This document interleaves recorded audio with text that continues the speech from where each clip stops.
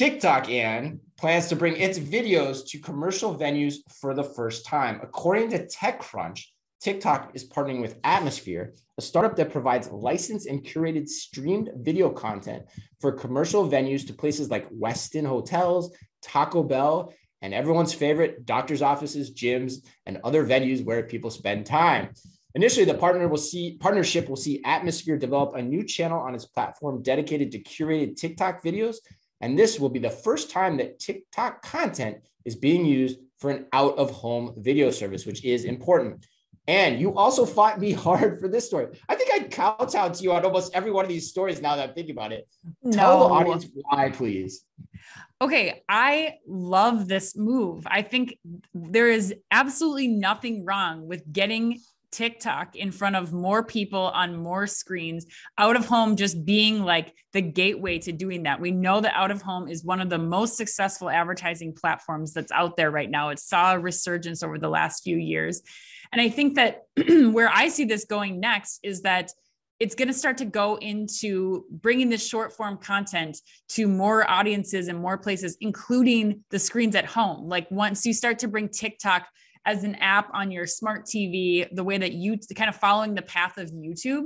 Um, and just I I did Google this and found some data data from Google that in 2020, pre-pandemic, mind you, more than 100 million people in the U.S. alone. That's not counting, and there's larger numbers outside of the U.S now watch YouTube and YouTube TV on their TV screens at home, That's which crazy. I think shows you that, you know, this is just, this is a platform that we're seeing grow in popularity, that we're seeing grow shopping from this platform is growing in popularity too. And so I think as this kind of continues to evolve, both in out of home, in people's TV screens at home, I think that we're going to start seeing, you know, how shopping starts to play into this as well and it become more ubiquitous um, as an entertainment source we know this is something that people crave and enjoy and to be able to watch somebody like i don't know doing a dance video before you go get your pap smear what could be better Okay, didn't think you're gonna take it there. Wow. Um, this is one headline. I don't even know if I can recover from that. this is one headline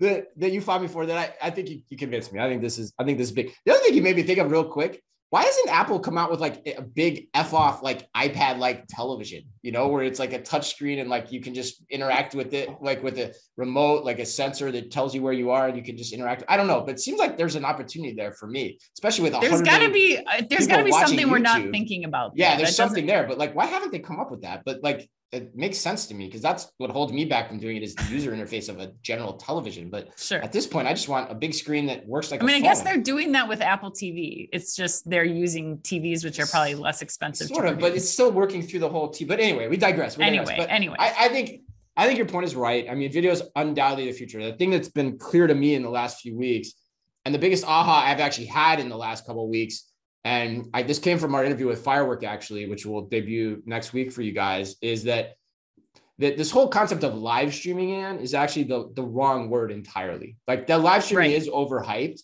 That it's really about short form video content and distribution. That's what we're talking about. Now, that could take the form of distribution via live stream, but it's also very powerful as recorded content dispersed in the right places. In fact, it's probably even more so that way. That's dispersed what, in multiple places. Yeah. Right.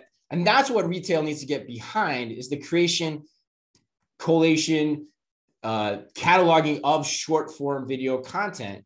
Live stream is just a piece, but it's not the whole enchilada. So a move like this, putting TikTok creator content in front of more eyeballs, I agree with you. It's a win-win idea. It's only going to grow. It's something for retailers to understand and continue to learn more about. I love it. I'm glad that you're behind. You convinced me, Anne. You convinced That's exciting. me. So you were okay. You were rightly, rightfully salty. You were like the salt on a pretzel for me. Oh, I'm glad that you get one. to tell me when I get to be salty. I'm going to yes. remember that. I'm going to be yes. telling you, Chris Walton, when you. And the the pap smear drop was salty an all timer too, by the way. So thank you for including that.